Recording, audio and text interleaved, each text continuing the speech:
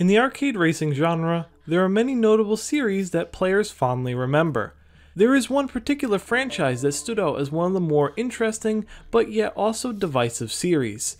Grid started out strong, yet as more games were released, the series saw a slow decline until its rumored cancellation. How did a simple yet fun track racer end up losing its popularity over the years? This is a retrospective look at the downfall of the Grid series.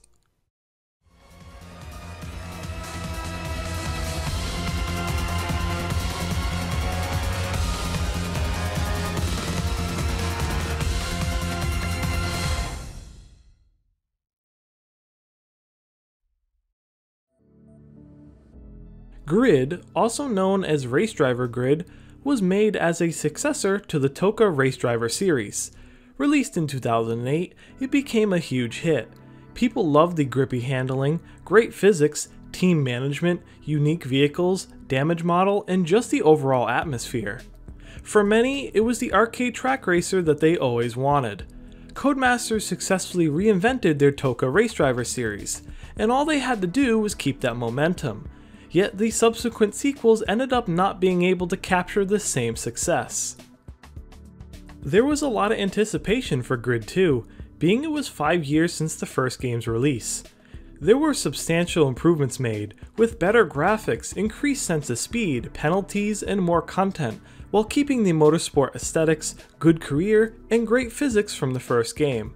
While the game did not have a first person interior camera and got rid of the team management system, its handling would become its main talking point. The game introduced the True Feel Brake to Drift handling model, phasing away the grippy handling of the first game. The game became extremely controversial as many were upset about the handling changes while others loved the new drifty model. This made Grid 2 one of the most divisive entries in the series. While the game seemed to do very well, Codemasters was not happy at the negative feedback they were receiving. They decided to return to the series' roots by heavily focusing on motorsports. Yet this overcorrection ended up alienating fans even more. Autosport was essentially a reworked Grid 2 that was only released a year after.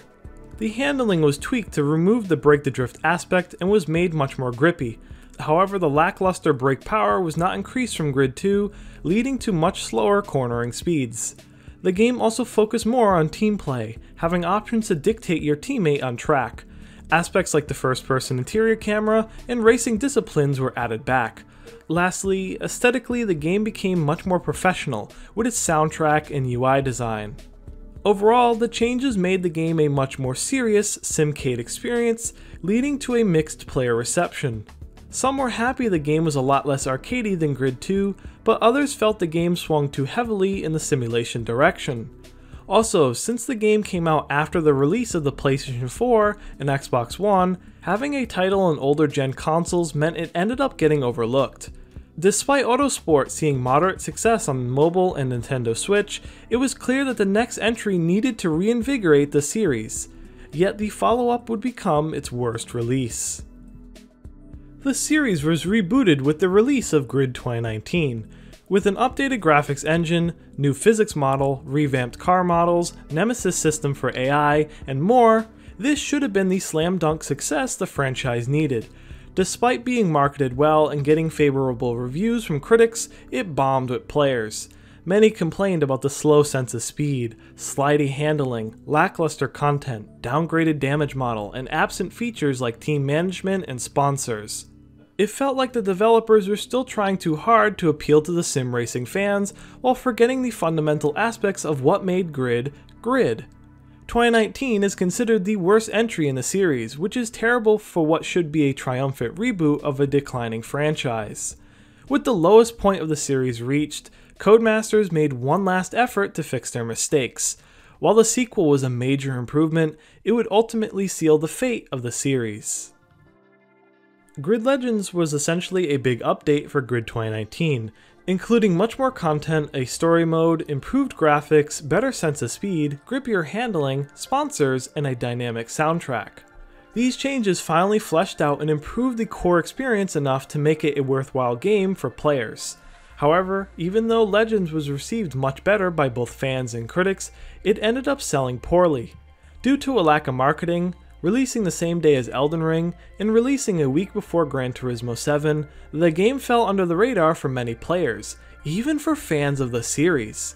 Also, some steered clear of the game due to particular aspects like the vehicle physics, damage, and AI not being fully reworked from Grid 2019. Just as the series was getting back on track with Legends, the fumbles in release date and marketing ended up sealing Grid's grave. Each game has its problems, but a core issue of the series was just not being able to recapture the success and love for the first game. Each entry always felt like it was under the shadow of the first, which is a real shame as most of the sequels are still great games. There are plenty of redeeming qualities of Grid 2, Autosport, and Legends. Heck, I honestly enjoy Legends a lot more than the first game, so it's certainly not as black and white as some fans make it out to be. Even so, it's quite telling that the first game is a majority fan favorite, which rarely happens in the video game space. While I spent a lot of time talking about the faults of the series, there is one huge outside factor to consider. The rise of the simulation racers and the fall of arcade racers cannot be understated here. With the increased popularity of the realistic track racer, Grid being an unrealistic track racer put it in a weird spot. For the hardcore sim racing players, the series really didn't appeal to them due to simplified vehicle physics and gameplay. I can imagine even for some arcade racing players, the series might have been too sim-like, with its overall motorsport focus for its cars, tracks, and penalties. Of course, there are still many fans from Grid all across the racing genre. Yet for wide market appeal, the franchise ended up being just a little too niche as time continued on.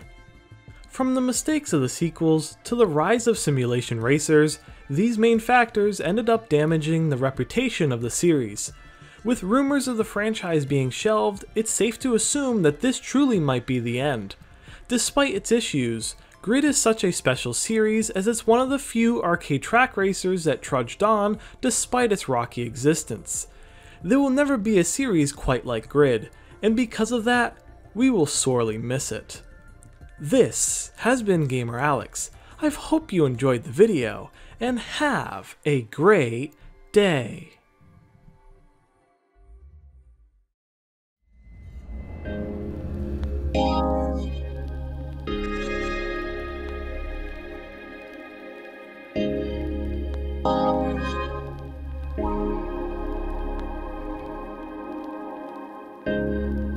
you